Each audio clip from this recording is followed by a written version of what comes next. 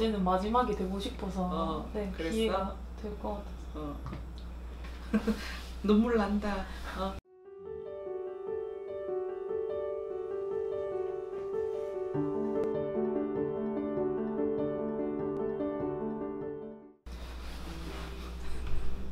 부산에서 여기까지 왜 네. 왔어? 제가 어, 부산에서 온다고 들었는데. 네 기회가 돼서 이번에 놓치면은 안 될 것 같아서 뭔가 마지막으로 온다는 어. 생각으로 왔어요. 네 인생 이제 시작인데 뭘 마지막이야? 근데 점 이런 거 보러 다니는 거는 어. 이제는 마지막이 되고 싶어서 어, 네 그랬어? 기회가 될 것 같아서 어. 눈물 난다. 어. 이제 스물여덟이 세상을 뭘 안다고. 네가 근심을 부모 근심까지 다 안아야 되고 네.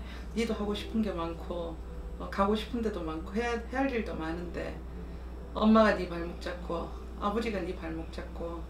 아버지를 보면 그래 아버지도 자수성가하라는 운이다 열심히 살아라 했으나 잠시 올라갔다 뚝 꺼지는 격이야 돈을 벌어도 번다고 했지만 망하라는 운세 이 기복이 있다 네.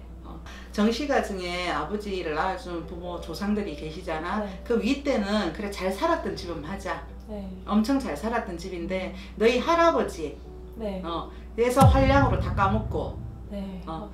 할아버지 때 돈이 다 깨진 거고 재산 때문에 다툼이 난 게 보여 네. 그래 형제가 윤기가 끊어지고 아버지는 혼자 부모한테 받을 게 없으라 했고 네. 자수성가하라 했다 아버지가 머리는 상당히 좋으신데 네. 뒷백이 없는 거야 네. 뒷심이 없어 근데 너희 집을 보면 네 형제 짠지 젊었을 때 청춘에 일찍 가라 갖는 조상 어, 네. 어, 네. 오빠야 네. 어. 그래서 자꾸 앞을 쓰는 격이고 지금 얼마나 됐어? 제가 10년 정도 됐는데 어, 어. 저는 아무것도 모르고 살다가 음. 작년에 음. 이제 너무 저희 엄마가 몸수가 너무 안 좋으셔가지고 제가 음. 너무 답답한 마음에 어느 이제 신당 같은 걸 찾아갔는데 거기서는 이제 엄마보다는 제가 뒤에 누가 따라다닌다고 음, 남자가 그 그거를 먼저 하자 해가지고 음. 한번 이제 굿을 이제 진짜 없는 돈에 했었거든요. 근데 이제 엄마 거도 같이 약간 해보자 해가지고 한 날을 잡아서 엄마 약간 날짜 괜찮은 거랑 오빠 날짜 보내는 날짜 괜찮은 거 해가지고 이렇게 했는데 음. 네 제가 이제 엄마 그때 허락받고 했었는데 한 달이 있어도 엄마 몸이 안 호전돼서 제가 이제 이건 오빠 때문에 문제는 아니다 네, 어, 이 전체적인 문제가 있고 오빠는 일부분에 속해 네. 그럼 아버지 형제 자 중에도 일찍 가신 분안 계셔? 할머니께서 어. 그 아버지 놓기 전에 음.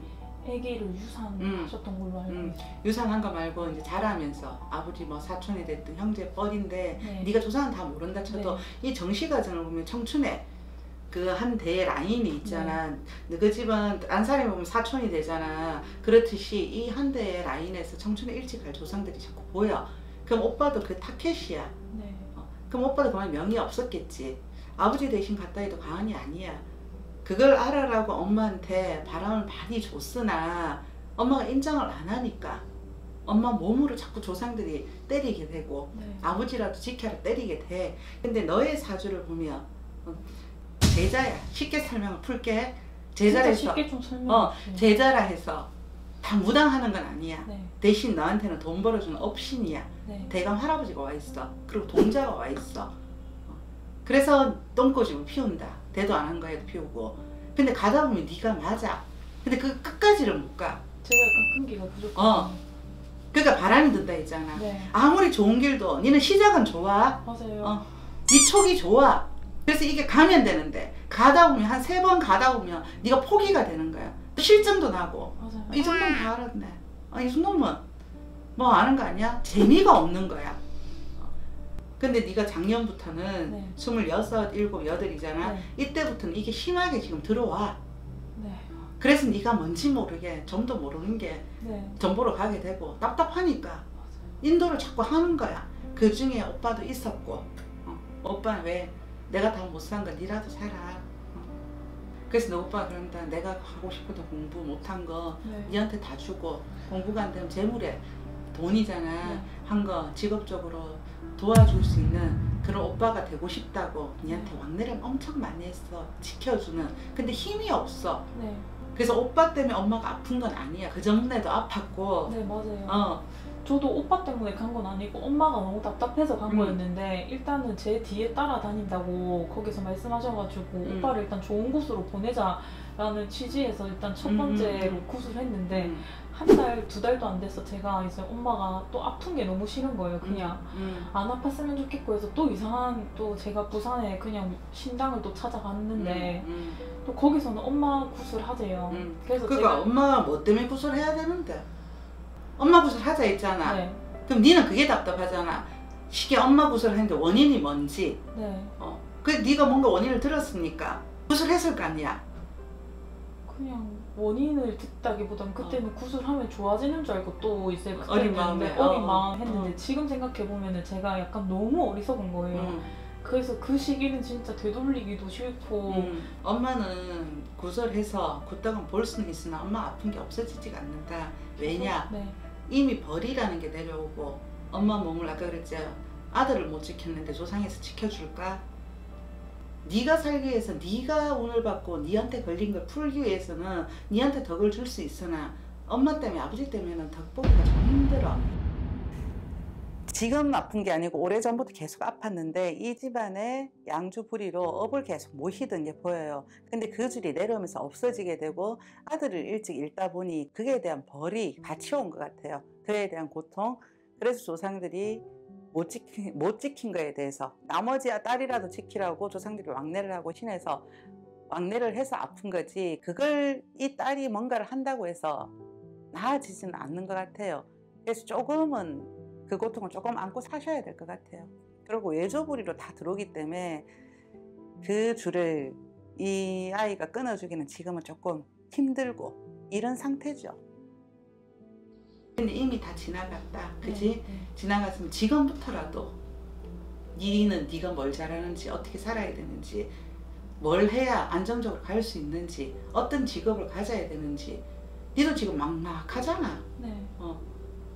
뭐 하고 싶어 저는 서비스 업 쪽으로도 음. 하고 싶고 음. 뭔가 제가 장사를 하면서 음. 서비스 업 쪽으로 사람을 대하는 음. 거를 제가 지금 최종 목표로 생각하고 음. 있는데 장사해 근데 사주의 장사가 딱이다 맞다 그게 그래요. 어 그래서 아까 했잖아 너한테 돈 벌어주는 신 재물에 포, 풀어보자 니 남 밑에 일 못하거든 딱 해놓고 1년을 못 간다 네, 어 그러면 그걸 알아야 네, 어쨌든 내가 장사를 하든 내가 뭐 요리를 하든 어떤 장사를 해도 알아야 되고 경험이 있어야 네, 장사도 실패를 덜 하잖아. 네, 그걸 하기 위해서는 어차피 물론 네가 오빠는 풀어줬고 엄마 때문에 구선했다 네. 잘하든 못하든 네, 그럼 이제는 니를 위해서 하라고. 네, 네 지켜주는 동작은 니한테는 수호신이야. 네. 어. 저는 이때 동안 그렇게 생각은 안 했는데 음, 네, 다 이제 제 포커스는 가족, 엄마, 음. 아빠 음, 그쪽에 맞춰져 있고 음. 제가 얘기 들으니까는 음. 약간 느낌이 지금 빡 왔어요. 어지 네. 빠고지 네, 내를 위해서 살아야겠다는 게 네가 있어야 거- 엄마를 지킬 거 아니야 네. 엄마 아버지는 연세가 많아 네, 뭘 어떻게 할 건데 젊은 니한테 명기를 안 주면 엄마 아빠 못 지켜 그래서 우리 지금 거꾸로 가야 되는 시기야 어쩔 수 없이 포커스는 누구? 저요. 그렇지 어, 너한테 맞춰 네. 모든 게 정리가 안 되고 순서가 없는 거지 네, 약간 뒤죽박죽이 어. 지금. 음. 이제 순서는 너 너부터 출발 네, 정해라 네. 어. 궁금한 거 있어? 궁금한 거. 음. 그러니까 제가 저만 이렇게 딱 생각하고 음. 좀 바릇하게 1, 2년 동안 나아가다 음. 보면은 음. 제가 이제 독립도 할 수 있고 음. 제가 뭐 재장사를 할 수 있는 거는 맞죠? 그럼 30대 초중반쯤 돼야 돼 네, 그때까지는 어, 어, 남 밑에 일하고 네. 한 집에 오래 있으라는 얘기는 아니야. 네, 이것저것 저는 다 배워보고 어, 다 해봐. 그래서 2, 3년 어, 배운다 생각하고 그쪽으로 좀 집념을 해. 네. 음. 알려주셔서 감사하고 진짜 이런 말 들은 게 제가 처음이거든요. 음, 음. 어디 가서도. 그러니까 네가 더 답답한 거야. 네. 어. 네, 저는 제 인생이 먼저라고 항상 얘기는 하는데 말로만. 모르면서도 그렇게 얘기하는데 선생님 말 듣고 이제는 진짜 좀 제 자신의 정체성을 그래. 찾을게요. 어, 알았다. 감사합니다. 어. 감사합니다.